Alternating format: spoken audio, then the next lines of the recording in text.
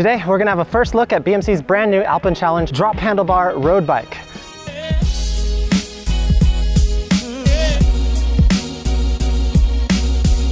For anyone new to the channel, my name's Cruz and we make videos about cycling. But anyway, let's go ahead and get started with today's bike introduction. We're gonna do a quick review over the bike, over its specs, and also go for a nice quick little test ride. We're here in beautiful Italy for BMC's test ride event, and we couldn't have a more gorgeous venue in beautiful weather for today. So let's go ahead and begin with the overview of the bike. So the Alpine Challenge is traditionally BMC's commuter line and it's evolved now into their new AMP series here. We've got their electric powered bikes. These are powered by a Shimano battery and motor. So we can see here, we've got our battery located right here. This is in the center of the bike to maintain the center of gravity. We've also got the engine down here as well. And these bikes are generally pretty Shimanoed out. We've got the Shimano crank and we've also got a Shimano Ultegra rear derailleur as well. So let's actually start with the front of the bike. For anyone who's new to the Shimano e-bike ecosystem, we've got a menu here. So we've got some different modes. Currently this is in boost mode and you can switch between these modes by the levers over here on the left side. So if we click here, it'll go down to an easier mode. And if we click up here, it'll go to a more supportive mode. So right now we're in trail mode. If we go down, we go to eco mode. If we go down, it's off. So off is of course the lowest setting. If we go up, eco mode is a little bit of support. Trail is a bit more support and then boost is super support. So I'll go over these in our test ride. Let's turn it off for right now so we can save some energy. We're fully charged at this moment and also at the front we've got a beautiful sleek aero stem here. So this is BMC's ICS stem system. Another cool thing about the BMC stems is we've got this integrated stem cover plate here. So you can put different adapters here like your Garmin mount or your GoPro mount or a light, whatever you want. And this is a super sleek setup. You can see all the cables are hidden and they go into the stem itself. So there's really no external cables out here other than the little bit that you see here. And this bike is just blacked out stealth black color with a nice white BMC logo. We've got a sleek front profile as well, sleek front fork and for the wheel and tire setup, we've got some DT Swiss semi deep dish spline wheels, as well as the stock tires on here are 30C Vittoria Corsa tires. So also checking out the top tube here, you can see it's a pretty slim design back here over by the seat post, and it gradually gets more thick as you get up to the front. So a nice thick profile here. We've got the logo as well, Alpine Challenge AMP. AMP is the electric power series for BMC. For the saddle, we've got a Fizik Antares saddle. So a lot of BMC bikes, oh, we've got, this is the stopper for the seat post adjuster. So I just adjusted the seat post to my height. We got to put that down, cover the adjuster. For people who don't know, BMC's seat posts for some of their models are adjusted here. Sometimes they're adjusted down on the bottom, but we can't do that with this model because of the battery. Another interesting thing on the back here, which is different than the other Alpine Challenge bikes, is this is the micro travel system. So this is on their top of the line mountain bikes and it gives a little bit more of a comfort feel and also helps get more traction on the bike. For me, I'll be test riding a size M today. I'm actually 183 centimeters in height, so I'm kind of in between M and L. I'm generally more comfortable in an L, but I like to size down to a medium bike when I can. And also on a medium bike, I can also share it with my wife. She's on the bottom spectrum of the medium and I'm on the top spectrum of the medium. So one more last look at the full bike itself. Beauty here, and I've been getting a lot of comments lately on my channel. I do a lot of commuting videos where I do my commuting. I actually live in Japan, and a lot of people in the comments are always telling me I should get an e-bike for my commuting, and this seems to be a pretty awesome choice for that. We've got the drop bar, so we can get down, get a little bit more aero, and I'm really excited to see how this feels. I've been testing out some of the different e-bikes since I've been here. I tested out one of the Alpine Challenges with the flat bar with the motor, and I also tested out one of their mountain bike e-bikes as well. So it's really awesome. I hadn't had any experience with e-bikes until now, and today all of a sudden I'm getting all this experience with e-bikes. Anyway, I'm talking too much. Let's go get out and do the test ride of the bike like for you? I'm going out to test ride it okay. right now. I'm very excited. You will see, you will see. I, at the beginning I was like, no, I'm bikes, no, bikes must be muscular. Yeah. And I tried it and it was like, yeah. going uphill and uh, not sweating, you will enjoy. Yeah, it's heavy. yes, but riding you don't feel the weight. Right. Do you know how much this is? How much weight this is? I think 14. 14 or so? That sounds and about right. it's not so heavy comparing with other Right, right, right. I'm gonna go test it out. Here we go guys, let's go test this guy out. So apparently about 14 kilograms or so, maybe a little bit more. It feels pretty heavy. But supposedly, you don't really feel it while you ride. That's been the case with the other e-bikes I've been trying.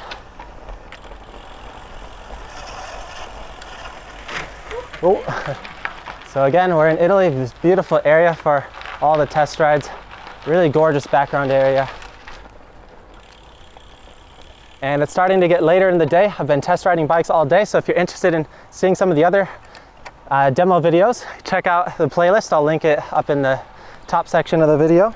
So right now, the support is off and I'm going downhill. I can definitely tell the bike is really heavy compared to a normal bike, um, but it doesn't really feel I don't feel too disadvantaged or anything like that.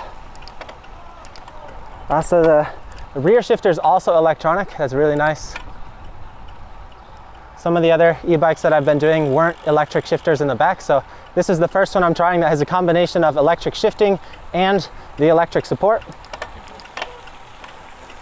So we've actually, we're still going flat and I'm feeling really comfortable on the off. So like if I ran out of battery and I needed to ride this in a flat section, I think I'd feel pretty comfortable with this. But the place where you really start to notice these e-bikes and the disadvantage if you have the engine off is when you go uphill. So that's what we're gonna start doing right now. Oh yeah, this thing is, I'm really feeling this. So I'm gonna turn the first level on. Let's go to eco mode. And I think I'm in a pretty heavy gear, so let's shift down a little bit. So once I shift down into lower gear, and I'm just spinning pretty comfortably. I wish I had a heart rate monitor to track this, but right now I'm not breaking a sweat and I'm going about 20K an hour. So yeah, I'm just flying up this hill. I'm not sure if you can tell how steep this is, but this is definitely at least a five, 6% gradient. And we're just cruising up here. So I'm rotating maybe about 90 cadence and I don't really feel anything like, it's just really comfortable. So let's go up another mode. We're on trail mode. I'm at the same cadence, so I didn't really notice a difference in support. If I increase the cadence, oh yeah, there we go. Up to 23K now. That's crazy. Got a red light here. Oh, green, lucky us. So let's actually go right here so we can go down this hill and go uphill again. So when you go downhill, it actually coasts even if I pedal, the engine doesn't activate. It's just coasting.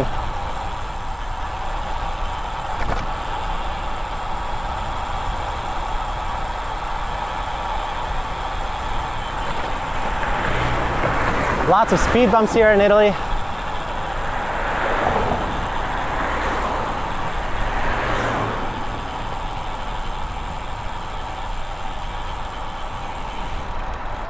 And again, of course, there's no disadvantage going downhill with these things. So the heavy weight actually helps you go downhill. You get more momentum, you get more speed going downhill. So there's really no disadvantage once you got your motor going because the motor helps you go uphill. You don't need it on the downhill.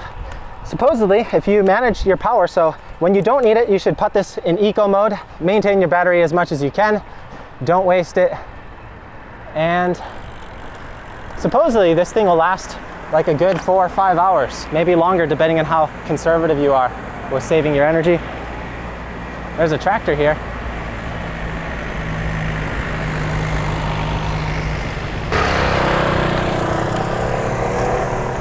So we're in eco mode right now. Let's shift up. So I've noticed when I put this in a heavier gear, I don't get as much support. But if I go to a lower gear and I up my cadence, I definitely get a lot more support. So maybe there's something to that with e-bikes. It's also good for you because you should be riding with a higher cadence.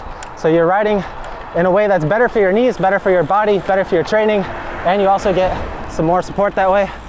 Check that out. That's the beautiful area we're riding in right now. So this hill's getting pretty steep. We're in eco mode right now. Let's boost it up. Trail mode. We were at 23. Now we're going 25.5 k an hour. And let's boost it up to boost, pick up the cadence a bit. And there we go, 26 uphill. Can't complain with that. Yeah, that boost mode is insane. But if you stay in the boost mode the whole time, it's just gonna drain the battery. So we're flat right now. Let's drop back down, eco mode. Yeah, this thing's really comfortable. And even though I'm pretty tall, I'm feeling really comfortable on the M size here. Getting in the drops. Getting in the drops.